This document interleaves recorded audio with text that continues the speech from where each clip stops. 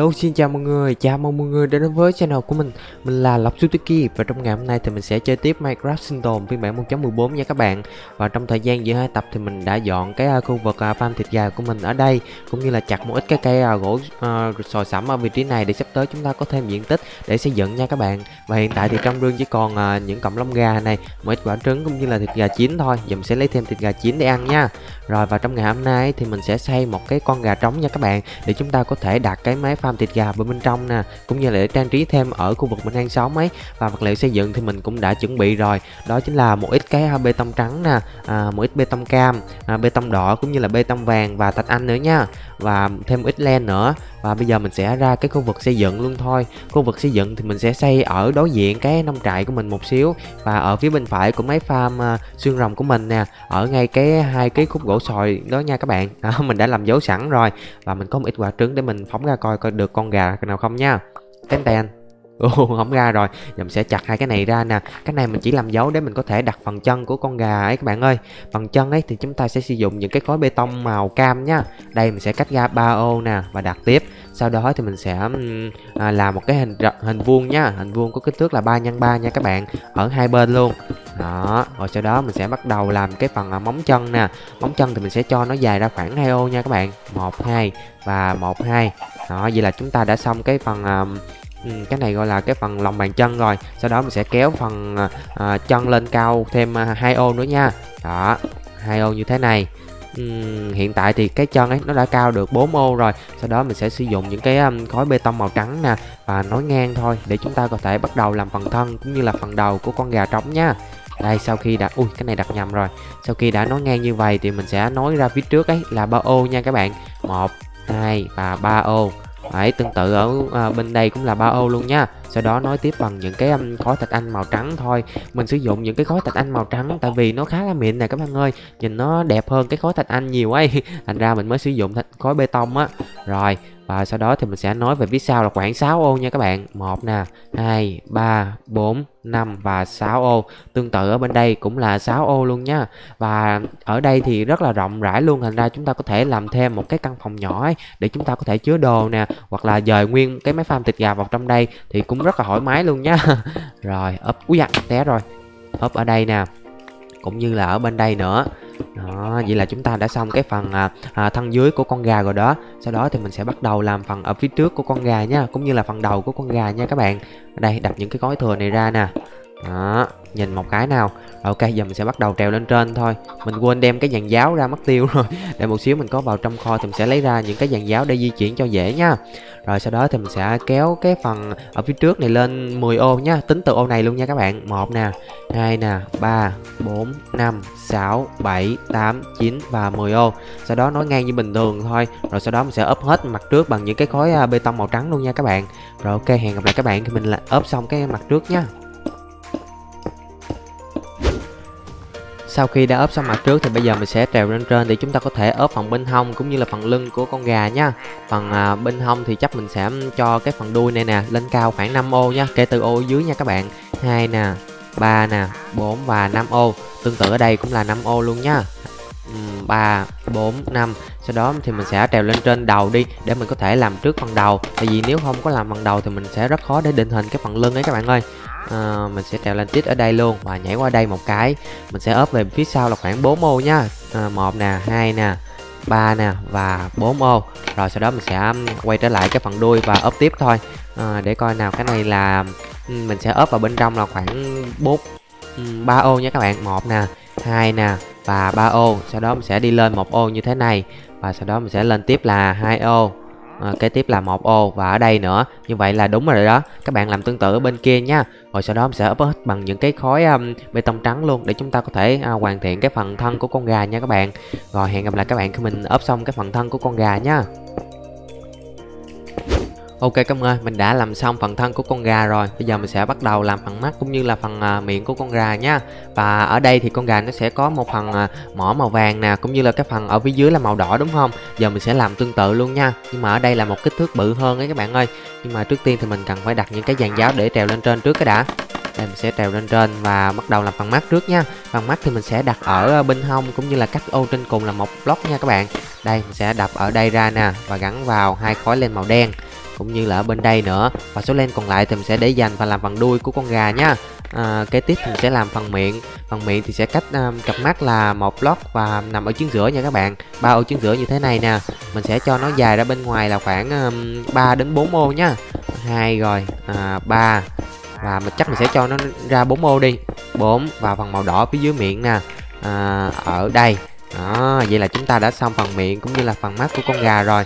Kế tiếp thì mình sẽ đập bớt một một số ô thừa đi để nhìn cho con gà của chúng ta đẹp hơn nhá. Mình sẽ đập những ô ở ngoài góc như thế này nè các bạn ơi. Một ô ở đây và thêm hai ô ở bên ngoài nữa như thế này.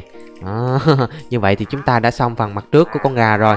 Bây giờ mình sẽ à, ra mặt sau ấy để bắt đầu làm phần đuôi cũng như là à, làm phần cánh của con gà nhá.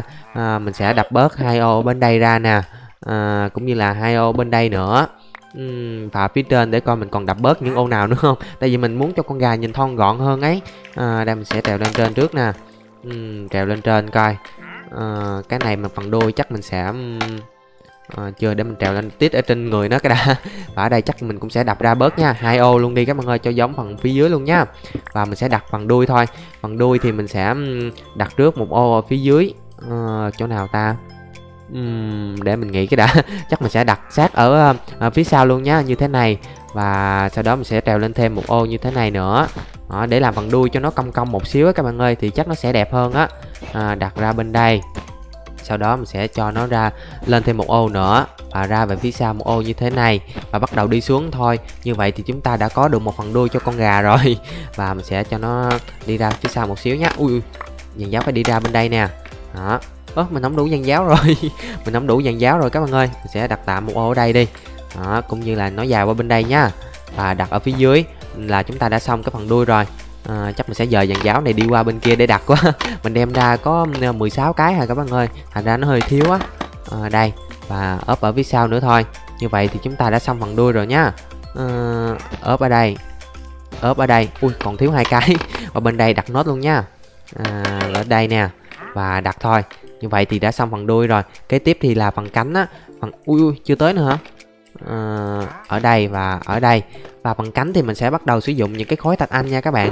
Ở đây thì mình có một ít cái cầu thang nè à, khối thạch anh và một số thạch anh mình chưa có nén lại thành khối nữa. Đây mình sẽ nén nó lại thành những cái khối thạch anh đi.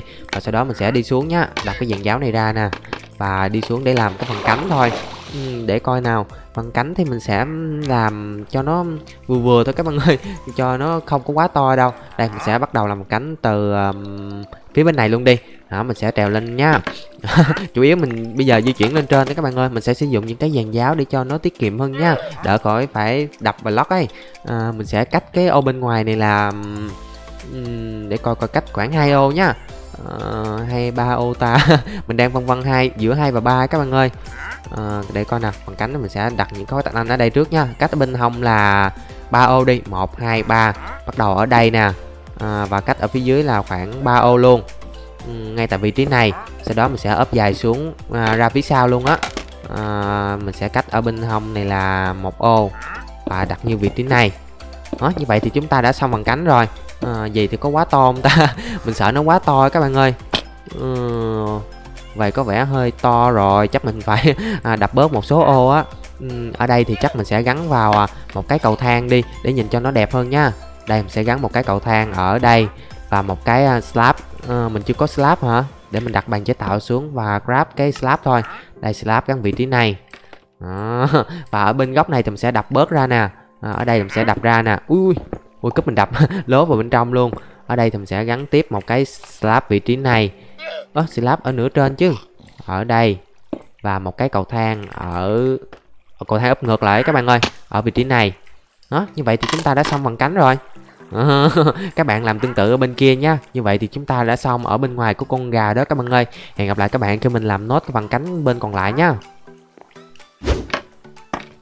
sau khi đã làm xong phần cánh thì bây giờ mình sẽ làm tiếp phần màu ở trên đầu của con gà nha. Phần màu thì mình sẽ sử dụng những cái khối bê tông màu đỏ nha các bạn, Đặt ở phía trước mặt một ờ, khối như thế này và nó dài về phía sau thôi đó như vậy thì chúng ta đã hoàn thành xong cái con gà trống rồi. Kế tiếp thì mình sẽ cắm đuốc ở phía trên này nữa. Tại vì ban đêm thì ở trên đây nó sẽ rất là tối luôn các bạn ơi. Nếu không có đuốc thì nó sẽ xuất hiện quái trên đây ấy, thì sẽ không tốt đâu. Rồi ok chắc bây giờ mình sẽ đi xuống dưới nha. Và chuẩn bị một ít đồ ấy để chúng ta có thể bắt đầu trang trí ở bên trong cái con gà trống này thôi. Mình sẽ đi lên phía trên con gà bằng à, hai con đường ở phía dưới chân như thế này nè. Mình sẽ đập ra một cái đi đó, ở đây cũng như là ở bên đây. Và phía bên trong thì hồi nãy mình có ốp lại cũng như là thắp đuốc rồi thành ra không sợ xuất hiện quái phía trong đâu các bạn ơi. Và bây giờ mình sẽ vào trong để chuẩn bị đồ để trang trí nha. Còn cái uh, máy phăm thịt gà thì chắc mình sẽ để ở tầng trên cũng được tại vì máy phăm thịt gà không có choán nhiều cái uh, diện tích đâu. Uh, mình sẽ mang theo một ít cái uh, thang leo nè. Ờ, à, đây thang leo đây. À, một một ít cái thùng để chứa đồ thôi. Một cái bàn chế tạo để trang trí nè. À, một ít cái hàng rào à, để coi coi mình còn chậu hoa không. À, ở đây mình còn một chậu hoa nè và mình sẽ đem theo cây gì đây ta? À, mình nghĩ đến trồng ở trong đó chắc là hoa màu gì ta? À, không biết giờ mình còn hoa không nữa. Hình như mình hết hoa rồi. Ờ, chắc mình sẽ đem cây xương rồng vào đặt đi. Đặt cây xương rồng cũng được á. Cái kế tiếp là một cái giường. Giường thì mình sẽ sử dụng uh, giường màu uh, xanh biển nhạt nè. Mình còn ít len nè. Để bây giờ mình chế tạo luôn đi. Đổi ra ván rọ gỗ và grab một cái giường. kế tiếp là một ít cái đèn lồng nữa tại vì mình muốn thắp sáng bằng đèn lồng ấy các bạn. À, đây và sẽ đổi ra hạt sắt nè và đèn lồng. Đó mình được một cái rồi. À, ngoài ra thì mình có, có thể đặt vào bên trong đó một ít cái lá nữa để cho nó có màu xanh nha các bạn. À, lá cây đây mình có một ít cái lá sồi nè. À, kế tiếp thì mình sẽ đặt một ít cái khối cỏ trọng cũng được á nhưng mà giờ mình hết chỗ rồi. Tầm này trang trí cũng khá là ổn rồi đó các bạn ơi. Bây giờ mình sẽ vào trong và bắt đầu trang trí luôn thôi. Như lúc đầu mình đã nói thì um, cái chỗ này rất là rộng luôn thành ra chúng ta rất là thoải mái trong việc trang trí nha. Và ngoài ra thì mình nên đặt những cái um, thang leo ở xung quanh cái chân con gà này tại vì uh, con, chân con gà ấy các bạn thì nó sẽ có cái vải ấy. Đó, thành ra mình sẽ làm cho nó giống thật hơn nha. Đặt một ít cái thang leo ở xung quanh nè. Và ở đây thì mình có thể đập ra rồi. Phía trên này thì để đẹp hơn các bạn có thể gắn vào đây là là những cái um, uh, cái cửa sập nhá. Uh, và bây giờ mình sẽ bắt đầu dọn ra và trang trí nha. Ở đây thì mình sẽ đặt vào một cái giường nè. Giường ở vị trí um, này đi. Đó và phía sau thì mình sẽ gắn vào một ít cái lá cây như thế này. Đó, kế tiếp thì mình sẽ gắn một cái đèn lồng ở trên cái giường luôn nhá ở đây nè. Và ở hai bên góc thì chúng ta có thể đặt vào những cái thùng hoặc là bàn chế tạo á à, ở đây chắc mình sẽ đặt thùng luôn đi. Vừa là chỗ để chúng ta có thể chứa đồ nè vừa là để trang trí luôn nha. Và thêm ở trên đây là một ít cái um, ở đây mình hết khói để đặt ở phía trên rồi. Mình chưa kịp chế tạo những cái à, khung vật phẩm nữa. À, chắc mình sẽ gắn tạm vào đây là những cái uh, hàng rào ở ở hai bên nè và cắm đuốc vào thôi. Ở đây ở đây vì nó có thừa ánh sáng quá không ta? Vì là cái đèn lồng này chắc mình sẽ dời lên trên đi các bạn ơi. Đó vậy thì sẽ hợp lý hơn á. Đèn lồng sẽ gắn tít. U không tới không tới. Mình sẽ trèo lên trên nha và gắn cái đèn lồng tít ở trên đây nè. Đó và trên đây chúng ta có thể chia làm hai và đặt cái máy farm thịt gà ở phía trên đấy các bạn ơi. Đó và ở đây thì chúng ta cũng có thể um, gắn vào thêm những cái um, thùng uh, ở bàn chế tạo chắc đặt ở hai góc luôn đi. Đó mình có dư hai cái bàn chế tạo nè. Đó, vậy là ổn rồi nhá. Ui mình sẽ làm thêm một cái nữa để gắn vào bên đây nè à, và kế tiếp mình có thể gắn vào đây là những cái rương các bạn ơi. Nhà mà phải có rương để chứa đồ nữa. Đây mình được à, ba uh, cái rương rồi. Trong thời gian giữa hai tập mình sẽ làm thêm à, một cái nữa để làm chẳng cho hai cái uh, rương bự luôn nha. Rồi mình trang trí như vậy cũng tạm ổn rồi đó. Các bạn có cách trang trí nào thêm ấy thì nhớ trang trí thêm nhá mình sẽ gắn thêm hai cái này vào bên đây và một cái chậu hoa ở vị trí này nữa để gắn cây xương rồng vào. Đó, vậy là ổn rồi. Hai bên thì mình sẽ gắn vào gì ta? Ở đây là một cái uh, dàn giáo nè còn bên đây là một cái đèn lồng đi. Đó, vậy là xong rồi nhá. Còn phía trên thì mình sẽ dời cái à, máy farm thịt gà vào trong thời gian giữa hai tập nha các bạn. Rồi ok chắc bây giờ mình sẽ cắt đồ đi rồi chúng ta cùng nhau làm công việc tiếp theo nha. Nhưng mà trước khi làm công việc tiếp theo thì mình sẽ cho các bạn xem à, con gà một cách tổng thể từ xa nhá ừ, để coi mình không có mang cánh theo. Phải mang cánh thì nhìn từ trên không thì sẽ dễ nhìn hơn á. Đó, nhìn từ xa cũng tạm ổn các bạn ơi. Rồi chắc bây giờ mình sẽ cắt đồ nhá Bây giờ mình sẽ làm một cái khu vực nho nhỏ nha, Vừa đủ để cho những bé cáo sắp tới mình dẫn về sinh sống nha các bạn, Tại vì hôm bữa mình có phát hiện một đàn cáo gần cái ngôi làng, gần nhà mình luôn đó, thành ra bây giờ mình sẽ làm một cái khu vực để nuôi cáo nha. Và khu vực này thì mình sẽ rào bằng những cái tường đá nè để đảm bảo cho mấy bé cáo này không có um, chui ra ngoài tại vì mình sợ mấy bé cáo này chui ra ngoài lắm các bạn ơi. Và để coi nào cái này hình như hơi bự thì phải. Nó choáng luôn cái chỗ vào cái uh, uh khu vườn uh, quả mồng ngọt của mình mất tiêu rồi. Kệ không sao đâu. Có gì mình mình mình cho nó nhỏ lại đó và vòng qua bên đây luôn. Có vẻ cái um, tường đá mình không đủ hay sao rồi. Có gì mình sẽ vào trong để chế tạo thêm nhá. À, mình sẽ vòng qua cái à, cây nấm này luôn nè. À, đập này ra đặt vào đây cũng như là ở bên đây. Nó cho nó nói lại với cái um, à, à cục lá đó luôn ấy các bạn ơi. Giờ mình sẽ vào trong để chế tạo thêm một ít cái à, tường đá nữa nha. À, trên đây hết rồi chế tạo thêm thôi. Đây mình sẽ làm thêm được à, 18 cái rồi đó, ra ngoài và gắn vào tiếp thôi. Như vậy thì chúng ta đã có chỗ để cho những bé cáo ở rồi. Nhưng mà bên trong thì mình muốn trang trí thêm ấy. Thành ra bây giờ mình sẽ làm trong đây một cái nhà nhỏ nhỏ nè trồng một ít cây luôn. Bây giờ mình sẽ trồng cây trước nha. Mình sẽ trồng cây uh, gỗ uh, vân sam xuống. Tại vì thường thường mình gặp những bé cáo là ở khu vực gỗ vân sam không mà các bạn ơi. Thành ra mình sẽ trồng cái loại gỗ này nha. À, và ở đây một cây nữa. Kế tiếp thì mình sẽ làm một ngôi nhà nho nhỏ luôn. À, mình sẽ làm ngôi nhà bằng thân gỗ sòi nha à, mình sẽ cắt cái cái ờ, cái cái tượng đá này ra để cho nó đừng có kết nối lại với nhau á. Đây mình sẽ cắt ra một hai à, ba ô nha. Ờ hai ô thôi hai ô thôi các bạn ơi để làm một cái ngôi nhà hình vuông đi. Đó kế tiếp thì mình sẽ gắn vào đây là những cái ván gỗ như bình thường nhá ván gỗ và phía trên này thì mình sẽ làm cái phần máy thôi. Phần máy thì mình sẽ sử dụng những cái um, cầu thang nha. Và, và cái phần trụ chắc mình sẽ lên cao 3 ô đi. 3 ô thì mình mới có thể làm được cái phần cửa sổ á đây mình sẽ bắt đầu làm tiếp cái phần mái bằng những cái cầu thang như thế này. Ốp ở phía dưới trước nha. Ui cái này mình ốp nhầm rồi. À, dùng cái rìu đập ra. Đó ốp ở đây ở đây và cho ra ngoài một xíu luôn để cho nó đẹp hơn đấy các bạn. Ở đây nè kế tiếp mình sẽ ốp ngược lại ốp ngược lại như thế này. Và sử dụng ở phía trên là những cái slab thôi. Tại vì cái nhà này mình không muốn cho nó nó quá to với lại quá nhọn đấy các bạn ơi. Thành ra ốp slab thì nó sẽ thích hợp hơn á. Như thế này. Và qua bên đây à, và phía sau thì mình có thể gắn vào những cái um, hàng rào để làm cửa sổ chẳng hạn để nhìn cho nó thoáng mát hơn nha. Rồi à, cái này thì chắc mình sẽ gắn vào một ít cái um, tường đá nè để làm cái phần uh, chống cái phần mái lên á. À, bé mấy bé cáo có thể chui vào đây để ngủ nè và mình sẽ thắp đuốc lên mới được để cho có ánh sáng luôn. Đó rồi cái tiếp thì mình sẽ làm một ít cái um, hồ nhỏ nhỏ đi. Ở đây thì mình sẽ làm một khu, khu vực hồ nhỏ ở vị trí này bằng cách là đào một ít đất ra nha đây đào ra cho nó sâu sâu xuống một xíu luôn. Và khi nào mình có qua cái khu vực uh, uh, biển ấm ấy thì mình sẽ cố gắng bắt thêm một vài con cá về đây để trang trí trong cái hồ cá nha các bạn. Tại vì hồ mà không có cá thì nhìn nó cũng hơi đơn sơ ấy. Đây mình sẽ ra ngoài và múc ít nước luôn nha. Ừ, ngoài ra mình cần phải làm cái cổng nữa. Mình cũng muốn vào bên đây để thăm mấy bé cáo nữa chứ. À, cổng thì chắc mình sẽ đặt ở góc nào ta? À, đặt ở bên đây đi. Đặt ở đường vào cái à, à, chỗ bán kem luôn nè. Đây mình sẽ vào à, mình à, mình có cổng nè. À, có cổng thì gắn cổng vào luôn nha. Đây gắn cổng ở ngay vị trí này nè. Rồi cái tiếp thì đi múc nước thôi. Hiện tại thì mình có một xô nước với một xô lava. Lava thì không đổ ra được đổ ra là nó thành hắc kim thạch á. Mà không sao đổ ra luôn đi để cho mình có hai xô nước và múc nước cho nó nhanh hơn đó nha. Tại vì trong minecraft khi mà chúng ta có hai xô nước thì đã có thể làm được nước vĩnh cửu rồi.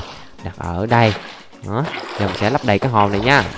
Đó thường thường thì mình sẽ à, đổ nước ở xung quanh đấy các bạn ơi thì ở chính giữa thì nó sẽ tự thành nước vĩnh cửu luôn á. Đó. đó vậy là xong rồi. Thì khi nào có lá súng thì mình sẽ gắn thêm ở phía trên luôn nha. Ừ, mình có nên dùng bột xương cho mấy cái à, cái cây này nó lớn không ta? Giờ thấy nó lâu lớn quá à. ok để một xíu về rồi mình à, dùng bột xương sau nhá còn bây giờ chắc mình sẽ tìm cái cọng dây cái đã tại vì hổm ra mình được một vài cọng dây. Đây mình có một cọng nè uh, hình như mình còn một cộng nữa thì phải. Trong cái rương sugar hay sao á. Ờ uh, trong rương này còn ba cộng luôn. Là mình được bốn cộng rồi nè. Bây giờ mình sẽ đi qua cái à, khu vực uh, làng gần nhà mình nhá sử dụng cổng để đời đi cho nó nhanh nha các bạn. Hẹn gặp lại các bạn khi mình qua cái khu vực làng nhá Ok các bạn ơi, mình đã đi tới ngôi làng gần nhà mình rồi nào và hiện tại trời cũng đang sập tối rồi. Giờ mình sẽ tranh thủ để dẫn mấy bé cáo về nhé. Hôm bữa mình có gặp một đàn ở hướng này nè. Rồi giờ thì cầm dây lại dẫn mấy bé về thôi. À... Ủa hôm bữa mình thấy ở đây mất tiêu rồi. Ủa mấy bé cáo không biết có despawn không nữa. Đừng nói despawn là toi mình luôn á. Ủa hôm bữa mình gặp nguyên một à đây đây đây đây một bé kìa. À, mình mới mới gặp một bé rồi các bạn ơi. Mình cần dẫn ít nhất là hai bé về á ờ, để coi coi ở đây còn bé nào không? Thường thường mấy bé cáo sẽ ngủ trưa ở dưới gốc cây á mà giờ trời sập tối không biết có còn ngủ trưa không nữa. Để coi. À đây còn nè còn nè. Đó hai bé hai bé nha. Rồi đi rón rén rồi. Mình mà chạy một cái là bé cáo sợ là chạy mất tiêu luôn là hết dẫn về luôn đó nha. Rồi và đây đây đây đây. Dẫn một bé rồi nè. Rồi bé thứ hai bé thứ hai. Ngủ còn ngáy nữa. Rồi rồi rồi dẫn thêm bé này nữa. U dừng dừng dừng dừng dừng dừng. À đứng yên đứng yên đi. Rồi chụp lại nè. Chụp lại nè.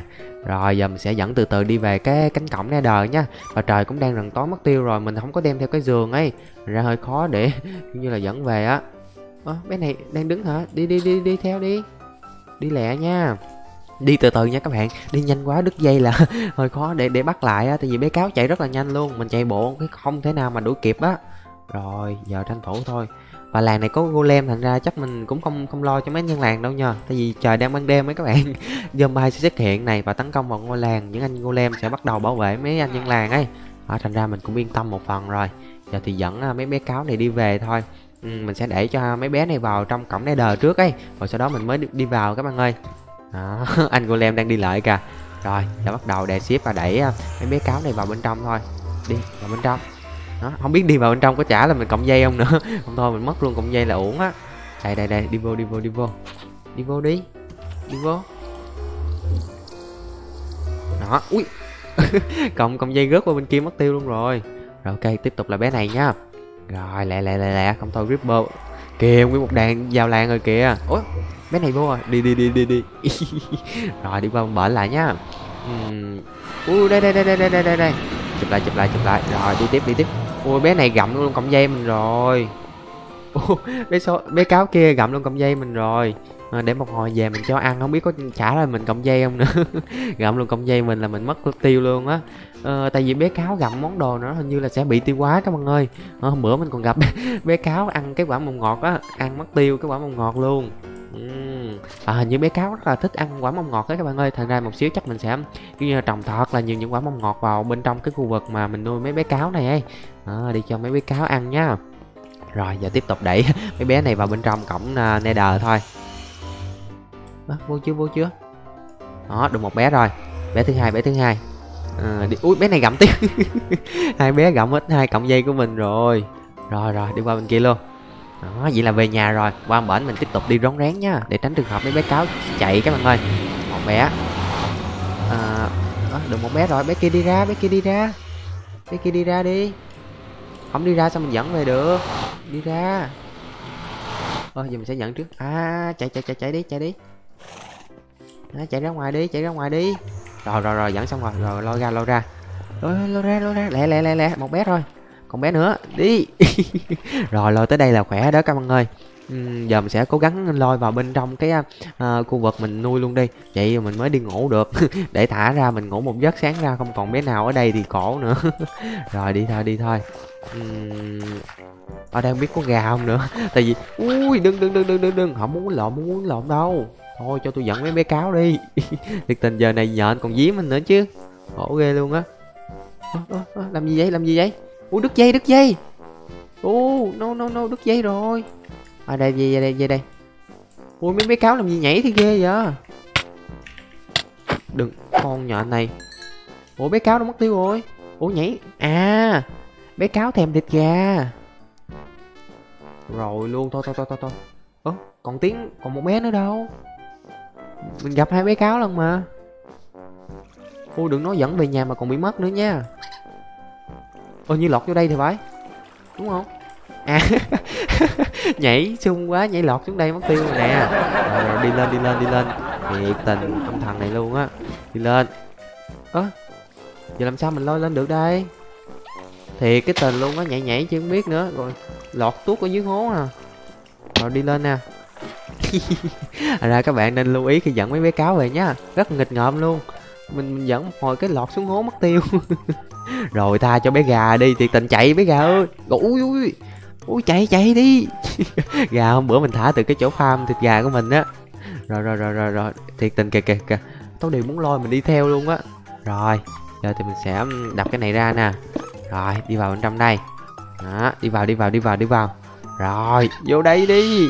Thì cái tên vô đây. Vô đây đi. Đừng. Kìa chạy kìa. Đừng mà. Đừng có nhìn mấy gà đó nữa. Rồi rồi rồi, rồi xuống đây đi. Lắp lắp lắp lắp lại ui đừng. Thiệt tình á. Vô nhà đi. Ui gặp mấy gà bên đây nữa. Ui lắp lắp lắp. Rồi ok các bạn ơi xong rồi xong rồi xong rồi. Giờ mình sẽ thả mấy bé này ra nhá rồi chúng ta sẽ bắt ui. Ủa chạy ra ngoài được hả? Ngủ ngủ ngủ ngủ, ngủ lẹ ngủ lẹ. Giờ ban đêm rồi. Sáng thức dậy ấy. Dắt mấy kia vào luôn. Ủa? À đây đây đây đây đây, đây. rồi. Rồi chuẩn bị nha chuẩn bị nha. Rồi mình sẽ buộc bé này này vào nha các bạn. Và mình sẽ dẫn vào chuồng luôn. Thì cái tình nó đang gặm thịt dài kìa. Rồi sau đó mình sẽ cầm cái này và lôi vào trong nha. Đây mình đi rón rén chắc bé ở bên trong chắc cũng không sợ đâu. Rồi đi vào đây. Đóng lại một cái. Rồi. Vậy là an toàn rồi đó.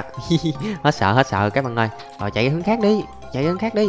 Rồi ui đang gặm kia hả? Gặm gặm hạt giống đi trả lời công dây đi. Gặm hạt giống đi. Ok mình đi ra ngoài trước cái đã. Và lấy những cái quả mông ngọt này vào cho cho mấy bé um, cáo ăn các bạn ơi để cho mấy bé thả ra um, cái cọng dây đó. Cọng dây đâu có ăn được đâu. Đây đây đây quả mông ngọt nè. Thấy thật là nhiều luôn. Sẵn tiện mình trồng ở bên trong bớt luôn. Tại vì mấy bé cáo này thông minh lắm biết hái quả mông ngọt để ăn luôn á. Đây mình sẽ trèo vô trong nhé trèo vô trong. Ui trèo vô trong. Đó đi ra đi bé cáo nhảy ra bên ngoài bây giờ nè thiệt tình á. Đây đây đây đây đây quả mồng ngọt nè. Đó trồng đây trồng ở đây. Không biết mấy bé này có kiểu như là bất cẩn để đạp không nữa mình sợ mấy bé đạp vào trúng trúng mấy quả mồng ngọt á. Đây gặm đi trả trả trả đó trả nè. Trả rồi các bạn ơi. Rồi vậy là ổn rồi nha. À, mình sẽ mất thêm hai xô nước cái đã. Uhm, vứt bớt mấy cái à, mắt nhện đi rồi ok. Như vậy là mình đã dẫn mấy bé cáo này xong. À quên nữa cho ăn nữa chứ. Quên quên quên quên. Mình phải cho ăn nữa để cho mấy bé cáo này đẻ ra các bạn ơi. Đây nè một bé nè. À, Bé này nữa bé này nữa. Lại đây lại đây lại đây anh cho ăn nè. Lại đây lại đây lại đây. Lại đây. Lại đây ăn nè. Rồi hai bé lại nè. Để coi coi có sinh sản không nhá? Ơ sinh sản đi. Ủa không sinh sản hả? Ủa cáo xong không có sinh sản hả ta? Kỳ vậy. Ủa? Ủa, Ủa mình cho ăn rồi mà không có sinh sản hả? Ủa kỳ vậy ta? Để một xíu cho bé này đói rồi mình cho ăn nữa coi. Tại thường thường mấy con vật ấy Khi mình cho ăn mà hiện trái tim lên ấy Thì hai con sẽ sinh sản với nhau ấy các bạn ơi. Ừ, Mà sao cáo lại không sinh sản ra nhờ? Chưa chưa từ từ từ từ để mình đẩy mấy bé này lại gần nhau cái đã. Ngại gì cũng biết nữa lại gần đi. Đó ăn ăn được rồi nè. Đây đây đây đây đây đây, đây. Dí mấy này qua bên kia nữa. Rồi lại lên kia đi sinh sản đi sinh sản đi. Ơ không chịu sinh sản hả? Đó đó đó rồi kia lại kia. Vô. Nè bé cáo con nè. Bé cáo này không có sợ mình đâu các bạn ơi. Hả? Ủa? À hình như chạy theo bố mẹ nó hay sao á? Ok ok kệ để cho gia đình cáo ở đây đi nha. Ờ, Như vậy trong ngày hôm nay thì mình đã làm được cái khu vực để nuôi cáo luôn rồi. Và bây giờ chắc mình sẽ vào trong để dọn dẹp đồ nha các bạn. Nãy giờ đồ quá trời bừa bộn luôn. Như vậy trong ngày hôm nay thì mình đã xây xong con gà để sắp tới mình à, dời cái máy farm thịt gà vào bên trong nha các bạn. Ngoài ra mình cũng đã dẫn thêm à, hai bé cáo về và cho hai bé cáo sinh sản bên trong cái khu vực mình nuôi nha. sắp tới mình sẽ trang trí thêm ở bên trong này cũng như là mở rộng nó ra nếu như có thể nha các bạn. Và ok, trong thời gian sắp tới nếu các bạn muốn mình xây dựng, chế tạo hay là làm gì mới ấy thì đừng quên comment ở phía dưới nha. Còn giờ thì xin chào và hẹn gặp lại tất cả các bạn ở những tập tiếp theo. Bye bye.